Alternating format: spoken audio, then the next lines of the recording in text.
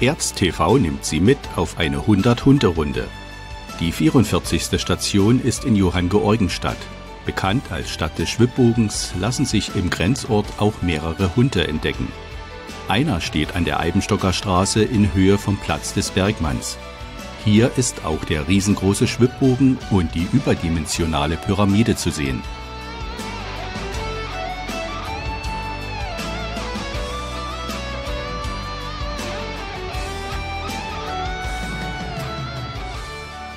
Der Hund zeigt den Weg zum Pferdegöbel.